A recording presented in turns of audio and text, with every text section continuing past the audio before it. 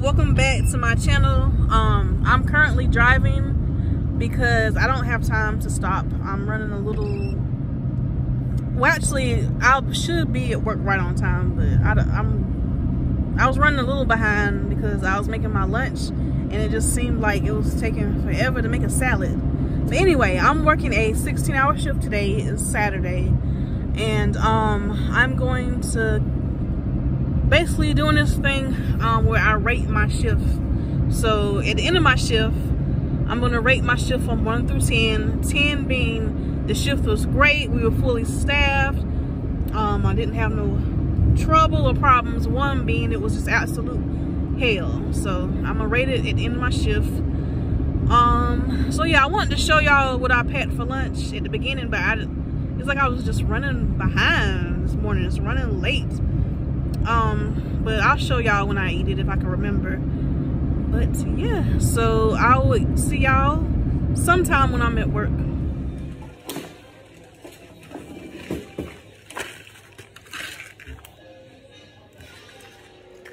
So right here i'm taking my first break. This was around 11 o'clock.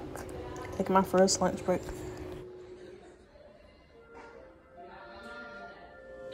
So this was at 6 o'clock, I think, or 6.15.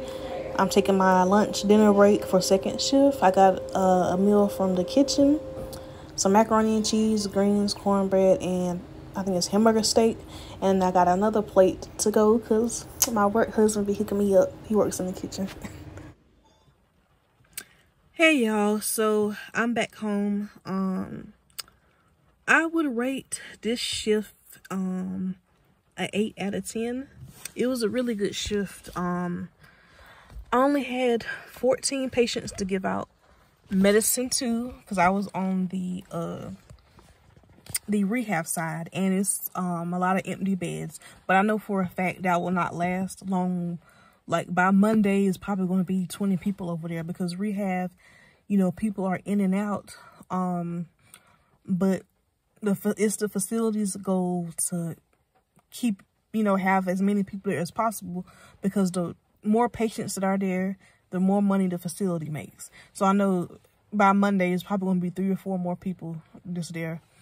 But it was nice today only having 14 patients. That was very nice. I feel like it should be like that all the time because I feel like when you're fully staffed, you can actually take the time to really do your job right.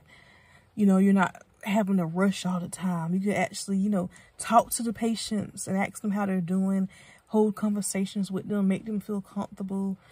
I know, laugh with them, joke with them because you're not, you know, you don't have that feeling of, okay, I got to go to the next person. I got to do this. I got to do that. I got, I to go, go, go, go. You know what I'm saying? But anyway, it makes me feel like when it's like that, I actually doing my job better. But anyway, um, it was a good shift overall. I say 8 out of 10. Um,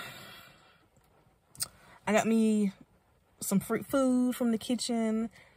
Um, so I didn't even eat my salad, but I could eat it tomorrow. Um, cause I got one plate and then the cook, I call him my work husband. He works in the kitchen. He got me another plate to take home.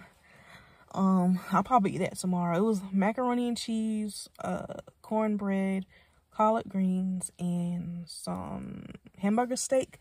I liked everything but the hamburger steak. I wasn't going to tell him that. But I think the hamburger steak came out like a TV dinner or something. I'm pretty sure the way it tastes, I think it's like like a TV dinner. That's just the way it tastes. But everything else was good. Um, the macaroni and cheese, I think it was homemade. And the cornbread, I definitely was homemade. The cornbread was so good. It's like, it's sweet, but not too sweet. Like, that, he did his thing with that cornbread. Um, so what else do I want to say? Um, tomorrow I'm going to be on the um long-term care side. So I'm going to have way more than 14 people. Um, so it'll be different. Um, I'm to tell y'all a little tea at my job, right? A little drama. Well, not drama, but so I heard that like there's like three CNAs that are no longer there. Y'all know I only work there every other Saturday, Sunday, and every Monday, so I'm not there all the time. Um, this one girl CNA, she got apparently this is what I was told. She got fired because she was going out to the stores or whatever to get you call it a, a vapor, a vapor, whatever, for two of the patients that lived there, right? And one of the patients that got caught with it, um, they was questioning her about the vape, and she snitched on the CNA. So CNA got fired. But I'm thinking, as a CNA, why would you do something like that? Why why would you risk your job like that? Like that's so stupid. I guess she didn't think she would get caught. And apparently, um someone had there's there's this patient that is, was a alcoholic. She's very young. She's like in her late 30s. She had a stroke um from alcohol poison, I believe. So um her right side, she cannot use her right leg or her right arm. She's completely alert and oriented. She just as I am, but she can't use her right arm or leg. She was a she was an alcoholic. She even some of her medicine is for that. And I think she's got like some kind of um can I say that word on here? Some problems with uh medicine substance. So someone said that one day when she went outside, um, somebody in the kitchen said they saw a man come from around the corner. She handed the man some money, and the man handed her some white looking substance, powder. So you know what that probably was. So therefore now, um, whenever she goes out and smokes, she has to be uh supervised. So that is so crazy. And they said this other CNA quit because of the maintenance man. She said that the maintenance man got was yelling at her and got in her face and was very disrespectful. And if you ask him to do something, like fix something, he's get an attitude. Which, that's kind of crazy to me because the maintenance man that we have, I don't know, I don't see him much. Like I, I don't see him during the week like that. So I'm not there all the time. But from the interactions that I've had with him, he seemed like a nice guy to me. And it's like, why would she quit just because of the maintenance man? When you would think she would go to the DON first or, you know, a supervisor and talk about the issue first. Like, that's crazy. A CNA quitting because of a maintenance man. Like, because they're not even in the same department. You know what I'm saying? But that's what I was told. I wasn't there. You know how people over exaggerate stories and stuff, but that's what I was told. Um, but maybe I don't know. He, like I said, the, the times that I've asked him to do something or talk to him, he seemed like a nice man. So, it's, and the other scene is like, yeah, he's racist. He was nice to me, but I, I don't know. I don't know. I can't say he might be. I don't know. So it's starting. They're st they are starting to get kind of like short staffed. There was this other nurse that quit. So she she's been she was working there for years, and she was on day shift, and they moved her to night shift without even asking her. They changed her schedule. So eventually she did the night shift, even though they didn't, you know, she didn't want to. She did it and then they was going to change her hours or something. I don't know. So she quit, which I don't blame her. Um, like she's a nurse. She can get a job anywhere. Like I don't blame her for just quitting. It's kind of crazy though, cause her boyfriend, I don't know if that's her boyfriend or her husband, but she is the spouse of the night, the full-time night nurse.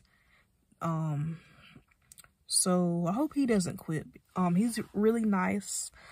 He always shows up on time. Sometimes he's there early um, I don't never, when I see that he's my relief, I never have to worry about, oh, is he gonna show up? Like he's very, he's very dependable, very, a very nice man. So hopefully he doesn't quit because of his girl quit.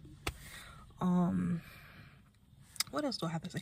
Oh yeah, yeah. So what y'all think about this?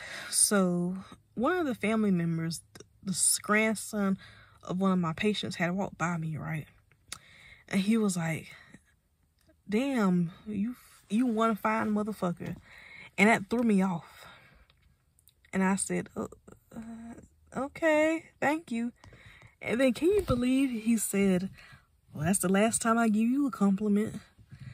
Now, maybe it's just me, but I feel like if you want a man, if a man is going to compliment a woman, can't you just say, oh, you look nice today, or you look beautiful, or whatever?